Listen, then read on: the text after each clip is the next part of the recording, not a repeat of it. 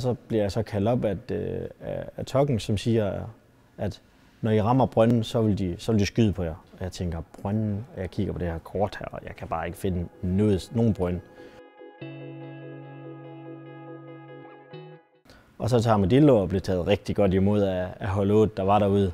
De var træt. De ville gerne hjem.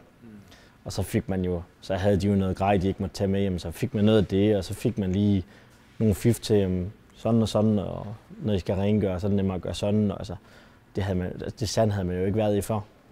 Jamen så øhm, den, øh, den 13. februar 2010, der kan jeg bare ikke sove. Der er bare et eller andet, der ikke... Og afghaneren skyder lidt ind over lejren i løbet af natten, og, og der er bare et eller andet, der ikke hænger sammen, synes jeg. Og jeg tager fat i vores delingsfører, Jonas øh, Peter Pløkker, der desværre ikke er her den dag i dag. Øhm, og siger, når vi skal ud om morgenen, så siger, der, jeg har simpelthen sovet dårligt. Jeg har en, jeg har en, en dårlig mavefornemmelse med det her. Der er et eller andet, der ikke hænger sammen. Der går et eller andet galt. Hvor han så siger, så skulle han nok tage radioen. Og jeg siger, ah, det, det var alligevel 12,5 kilo ekstra, og det var meget. Så siger jeg, ved du hvad, det, jeg, jeg tager med, og så, så er det bare sådan der. Gør klar, vi bliver velsignet af præsten, som man gør hver gang ind, hvis man har lyst. Hver gang ind man går ud, og vi øh, kommer ud i porten, så glemmer jeg bare alt, der hedder nervøsitet. Så er jeg bare på. Vi kommer ned i green zone og finder et par vejsidebomber, som man nu desværre gør. Øh, går, markerer dem og går videre. Øhm, og så synes jeg, så kommer vi sådan op i, sådan godt ned i området.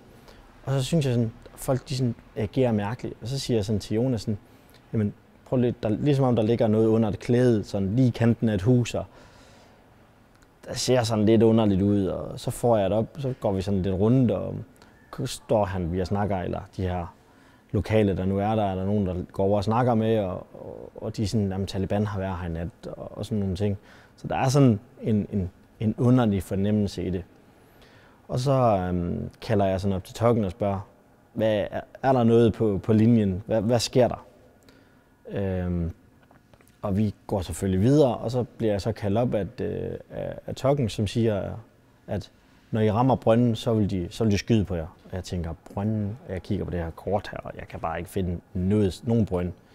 Og jeg kalder ind til vores lille fine fly her, det, det her lille, de styrer for lejren af, og siger, I bliver simpelthen nødt til at, at finde den her brønd her, for den skal vi bare udenom hurtigst muligt. Og så vi går selvfølgelig videre, og der går en 10-15-20 minutter cirka. Og så bliver jeg kaldt op, op fra, fra lejrene igen, at nu har de fundet brønden, og jeg får et koordinat, og der står vi bare næsten lige ved siden af. Og jeg tænker bare, hvad gør vi?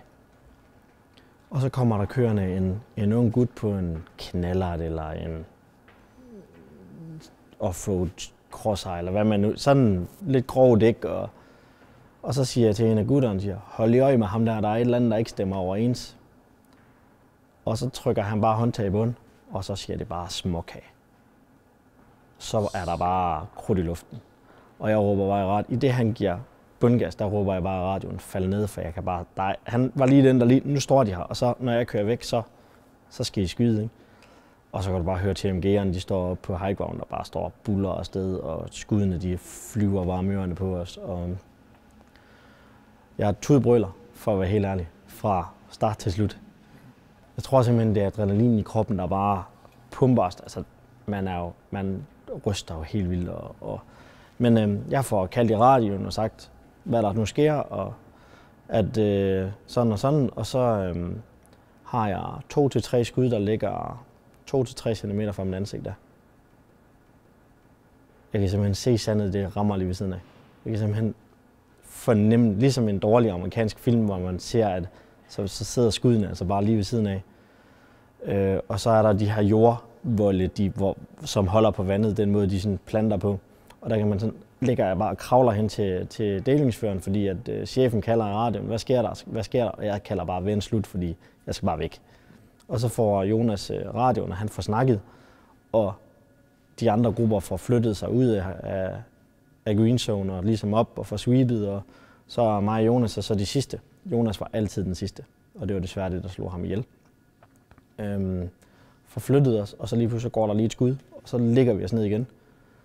Og lige der, hvor vi lå, eller lige der, hvor vi lagde os, der var lige blevet kaldt øh, motor og 40 mm indover, hvor det så siger skrald. Det sidste, jeg sådan kan huske, det er, at Jonas han kalder for kort for kort i radioen.